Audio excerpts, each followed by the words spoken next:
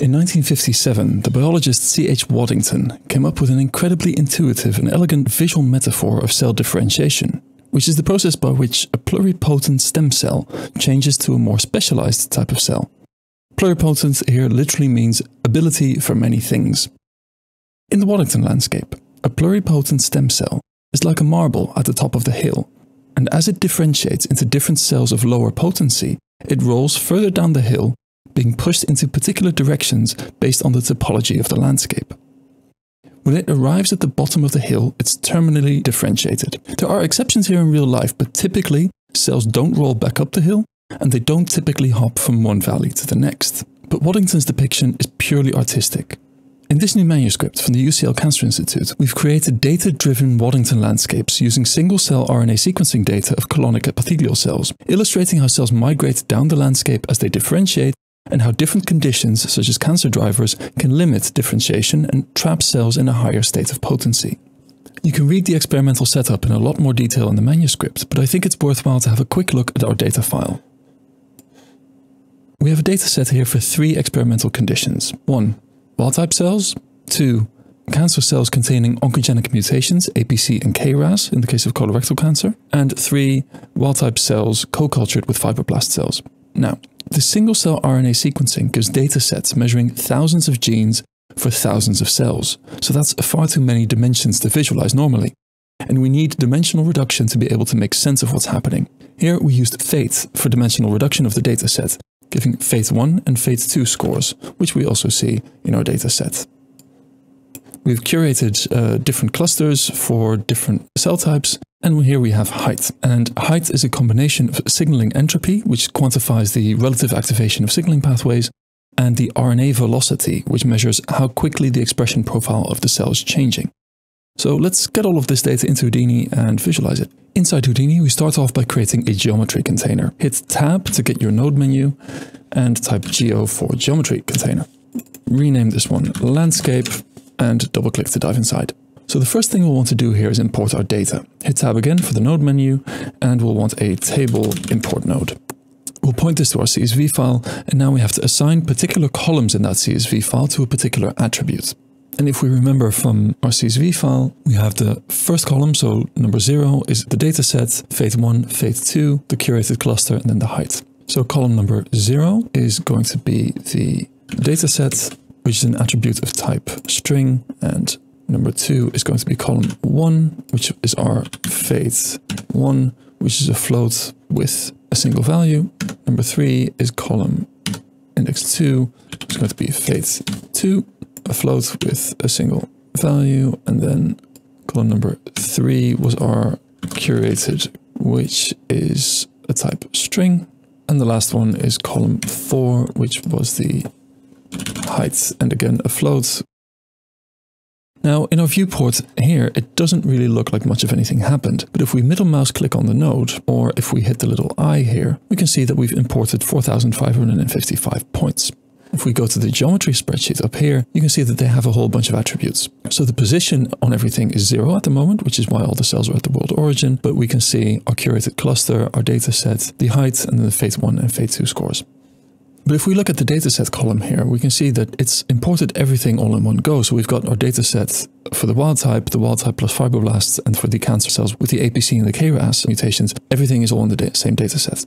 So we want to separate those out into individual landscapes. And for that, we need a few lines of code in Houdini's own C-style language called Vex. We could, of course, split up our node tree here into three branches, one for each dataset, but I'll show you a way of separating them so you don't need to know beforehand how many datasets are in the CSV file. And that way, you don't need to rebuild your tree if you have a larger or a smaller experiment. So to code this up in Houdini, we need a node called a wrangle and put the blue display flag on it. First, we'll need to create a list or an array that contains all the different data sets in our experiment. So string all data sets.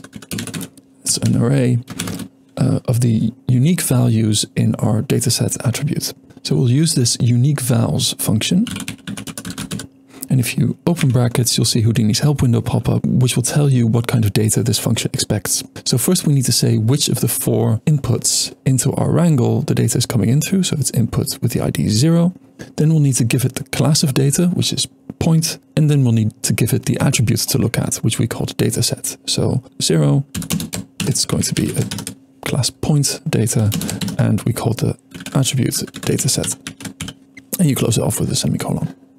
Next, we'll create a user interface element to pick our data set. So we need an integer, let's call it data picker.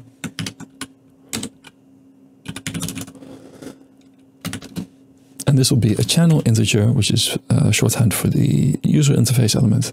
And we'll call it data picker. And if you click on this button here, it creates our user interface element over here. And lastly, in this part, we want to remove all but one data set at a time. So we need an if statement. If string add dataset is not the same as all datasets and then with the index data picker. In that case, we remove the points on input stream 0 with the point number at ptnum, which is the Houdini way of saying the current point. And if we now click on the eye again, we see that we only have 1875 points. Go over to our geometry spreadsheet and we see that we've deleted everything except for the AK dataset. And if we now use our data picker, we can switch from the AK to the wild type to the wild type plus fibroblasts. Let's work in a tidy way and let's call this one data picker. Next, we want to assign the fate1 and fate2 scores to the x and z positions of each data point. So we'll need another wrangle for this. Let's call this assign x and z. Now, these fate scores are quite small, so in order to create a bit more breathing room in the scene, I'd like to transform the entire dataset with a single multiplication factor. So let's create a slider for this. We'll call it float multiplier because it's going to be a float value, and instead of channel integer, which we did before, now we need channel float. And we'll just call it multiplier, close off with a semicolon, and hit this button here to create our user interface. And let's set it this to 10 maybe. And next, we need to assign our position, which is our p attribute, and we want to set that to fate1 times our multiplier. And we want to set our position in the z dimension to our fate2 times our multiplier. And in this case, I want to make it go in the other direction. So we also want to multiply by minus one. If we hit two, switch to a camera position that looks straight down, and we can see that this distribution of our points looks very similar to what we have in the data. Now it's a little bit tricky to get a sense of what the actual populations are in here, so we can add a color node, set the color type to random from attributes and make the attribute the curated cluster, and point there. And maybe if we hit D for display, go to our background and make it dark. There we go we can see our different clusters. If you want to work in a tidy way in Houdini, it's always good practice to put down a null at certain intervals. And in this case, let's call this transformed XZ. Now we want to set the Y position. Again, we'll use a new wrangle for this. And very similarly to the X and Z, we'll call this assign Y and we'll need a multiplier. So float multiplier is channel floats multiplier create the slider. Let's set this one to three. And again, our at position, but now the Y dimension is going to be our height times our multiplier. If we now hit one to go back to our normal camera view, we see that we've transformed everything in three dimensions. Drop down another null and called this transformed X, Y, Z. Next, we want to create our landscape topology. So for this, we'll start off with a grid. This grid is a little bit too big, so we'll put the size to some values that worked well for me in testing. So let's call it 0.8 by 0.8, and let's give it 50 rows and 50 columns. And align it nicely, we'll move it across a little bit, so point these rows and columns here are important because they determine the resolution of your landscape. So 50 by 50 is a nice, relatively high resolution. Next, we want to transform this grid based on our point positions. The way that we'll do this is with a point deform node. This needs three inputs. The first input is the mesh that we wanted to form, so that's the grid that we've just created. The second input is the rest point lattice, and the third input is the deformed point lattice. So what does this mean? So the rest data is the data before we transformed it in Y, and the deformed point lattice is the XYZ transformed data. What this point deform node is doing is it's connecting our grid to the flat data points, and then it's changing the shape of the grid to follow how those data points moved up in Y. So let's connect them up. Maybe let's move these nodes out of the way. And there's a few settings that we want to dial in here. The radius is the search distance used by each point on the grid to look for data points. And the min and the max points are the minimum and maximum number of data points that each point will look for in order to get deformed. So we don't want a very large radius here. We want to have a minimum of say five points and a maximum of 10. If we move our camera across, we can now see that we've created a three-dimensional landscape based on our data. We can then use a smooth node to soften everything a little bit. Maybe we want to transform it down because it's a little bit high in our scene. So let's move it down by say minus 0.7. So it's a little bit closer to the origin. Just like in Waddington's original drawing, we want to give our landscape some depth, which we'll do with a poly extrude node. But if we extrude this, uh, we see that it goes a little bit funny. And that's because it's extruding along the normal of each point and they're just facing in all kinds of different directions. And so what we want to do is create a new vector that's pointing directly down and say that that's the direction in which we're extruding. So to do that, we'll need another wrangle and we'll simply say vector attribute called down is curly brackets going into 0, minus 1, 0. And then in our poly extrude, we can set the extrusion mode to point normal from attributes, and the attribute is called down. And if we extrude this now, all of a sudden it's going in the right direction. We want to extrude this by, say, 0.7. Want to output the back. The blue color you see here means that the landscape is inside out. So if we put down a reverse, is the right way around. And in the end, let's put down a normal node, which always helps things to render nicely. So this is our landscape. And again, it's always good practice to end your tree with a null. We'll call this one out. So that's the landscape. And next we want to put our points on the landscape. So head up one level, drop down a new geometry container and call this points.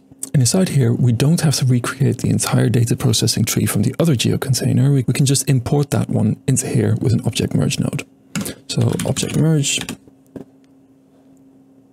and it was in the landscape container and we called it transformed XYZ. Okay, so now we have our data and next we want to grab the actual landscape as well, which we do with another object merge and we called this one out. So we have our data points and we have our landscape. Now to project the points onto the landscape, we can use the ray node. This takes the normal of each point on the first input, extends it until it hits a piece of geometry from the second input, and then it moves the original point to this intersection. So in order for this to work, our data points need to have a normal, and let's make that normal point directly down in y.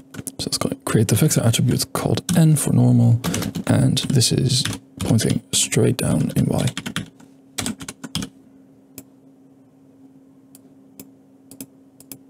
And if we put our display flag on the ray node, we can see that it's transformed all of our data points to sit exactly on the landscape. But at this stage, they're just points, and we would like to visualize them as spheres. So let's drop down a sphere node. Let's set this to be a polygon, and let's give it of a higher frequency so it looks a little bit nicer. And then we put down a copy to points node where we'll connect the geometry, so the sphere in the first input and the target points in the second. Now, this is a little bit too big. We could change the size of our input sphere, but I think the neater way to do this is to create a scale attribute on our points, which will then propagate to our spheres. We can do this in a wrangle as we did before with our normals, but let's uh, switch things up a bit and use an attribute create node instead, which we'll put onto our points. Uh, the attribute we're going to create is called pscale for point scale. That's the Houdini name for point scale. We'll give it a value of say 0.005. Now, of course, this is scene size dependent, so your values might differ from mine here depending on how you did the XYZ transformation of the data points. It means our data points now have a much more reasonable size, and if we zoom into it, we can see that they are sitting on the landscape. We can go back to our attribute create node, and we can increase this or decrease this to make them bigger or smaller. But there's a little bit of a snag here because as you can see, those data points are embedded in the membrane rather than sitting nicely on top.